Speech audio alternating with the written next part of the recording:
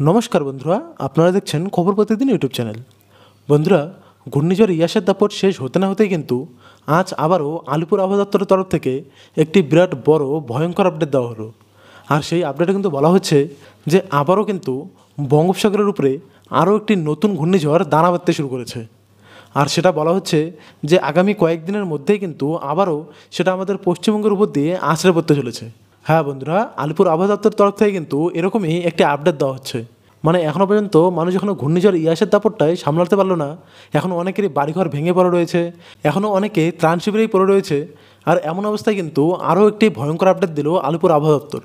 যেখানে কিন্তু আরও একটি নতুন ঘূর্ণিঝড় আসতে চলেছে বলেই জানানো হয়েছে।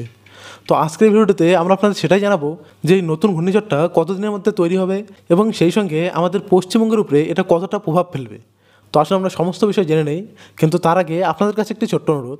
যদি আপনারাও এরকম আবহাওয়ার খবর সবার প্রথমে আপনার মোবাইলে পেতে চান, তাহলে অতি অবশ্যই ভিডিওটিকে একটি লাইক করে দেবেন এবং অবশ্যই অবশ্যই আমাদের চ্যানেলটি সাবস্ক্রাইব করবেন।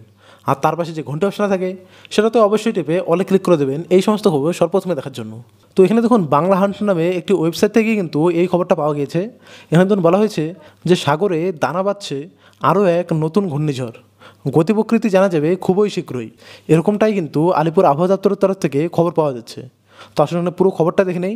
এখানে লেখা রয়েছে যে ঘূর্ণিঝড় ইয়াসে লন্ডমন্ড হয় বাংলার উপকূলবর্তী বিস্তীর্ণ এলাকা। আবহাওয়া দপ্তরের পূর্বাভাস থাকলেও বাংলার কান ঘেঁষে বেরিয়ে গিয়ে সর্বোচ্চ ক্ষমতা নিয়ে উড়িষ্যার উপকূলে আছড়ে পড়ে এই শক্তিশালী ঘূর্ণিঝড়।